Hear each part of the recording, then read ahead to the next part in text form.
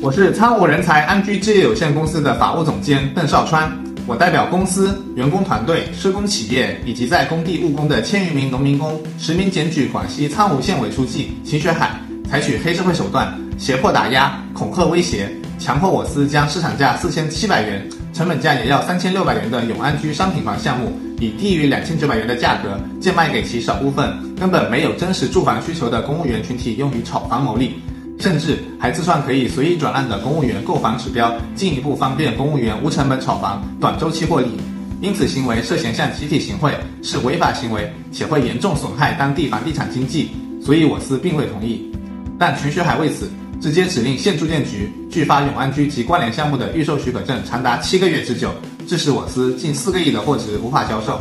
七个亿的资金投入却没有任何产出，企业濒临绝境。为此，我司已向广西住建厅。梧州市住建局投诉，市住建局已派员到现场进行调查，并向县住建局发出书面文件，要求其依法办理两项目预售证。但秦学海顶风作案，胡作非为，继续指令县住建局无限期拖延，拒不发证。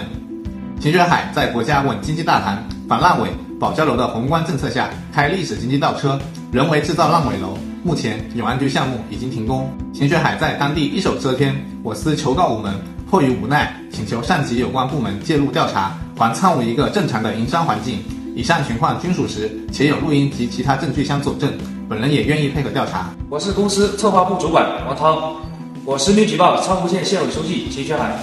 我是公司行政主管张波，我实名举报苍梧县委书记秦学海。我是公司销售主管张少峰，我实名举报苍梧县县委书记秦学海。我是公司营销总监韩水平，我实名举报苍梧县委书记秦学海。我是业主代表李海涛，我实名举报苍梧县县委书记秦学海。